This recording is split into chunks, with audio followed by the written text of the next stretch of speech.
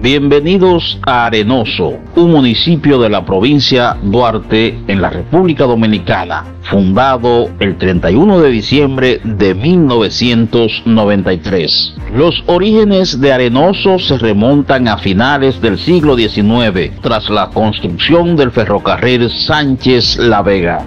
Este municipio era un importante punto comercial de la región atrayendo a pobladores de varias provincias cercanas. En 1975, Arenoso fue designado como distrito municipal y posteriormente, el 31 de diciembre de 1993, se convirtió en municipio de la provincia Duarte. El nombre de Arenoso tiene una historia interesante. Este municipio está atravesado por el río Yuna y durante las crecidas del río las viviendas quedaban llenas de arena. Por esta razón la gente comenzó a referirse a este lugar como Arenoso.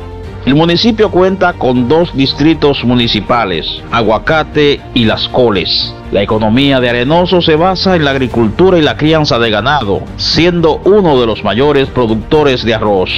Otra fuente importante de ingresos son las remesas enviadas por los arenosenses que han emigrado a Europa y Norteamérica. Las fiestas patronales de Arenoso se celebran del 4 al 13 de mayo en honor a Nuestra Señora de Fátima.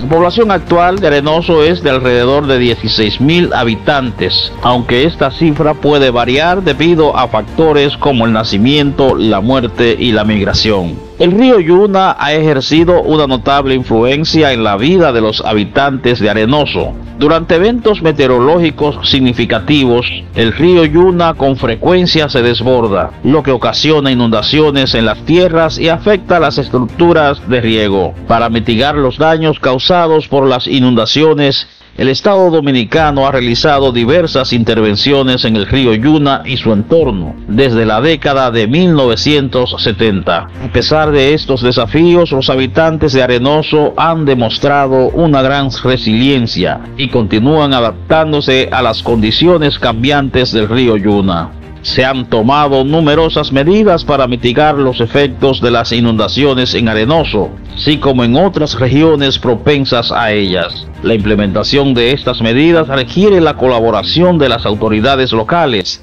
la localidad y los expertos en gestión de riesgos de inundación. Hoy Arenoso sigue siendo un lugar lleno de historia y cultura, un testimonio de la resistencia y el espíritu de la gente de la República Dominicana.